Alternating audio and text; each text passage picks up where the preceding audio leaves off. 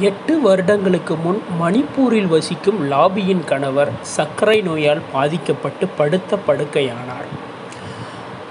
குழந்தைகளை படிக்க வைக்க என்ன செய்வது என யோசித்த அவரின் மனைவி லாபி ஆட்டோ ஓட்ட முடிவு செய்தார். ஒரு பெண் ஆட்டோ ஓட்டக்கூடாது என எதிர்ப்புகள் கிளம்பின. லாபி எதையும் பொருட்படுத்தவில்லை. குழந்தைகளை படிக்க வைக்க ஆட்டோ ஓட்ட ஆரம்பித்தார். இவரைப் பற்றி அறிந்த மீனா லோஞ்சன் என்பவர் நேரில் வந்து லாபியை சந்தித்தார். லாபி குறித்து ஆவணப்படமும் எடுத்தார். அப்படம் தேசிய விருதை பெறவே அனைவரின் கவனமும் லாபியின் மீது குவிந்தது. விஷயம் இதுவல்ல இந்த லேடி மாணிக் பாட்ஷா இப்போது செய்திருப்பது தான் ஹைலைட்.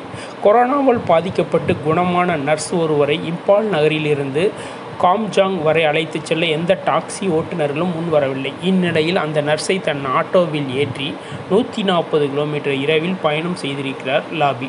இச்செய்தி சமூக வலைத்தளங்களில் வைரலாக பரவ மணிப்பூர் முதல்வர் இவருக்கு ஒன்று புள்ளி ஒரு லட்சம் பரிசளித்துள்ளார்.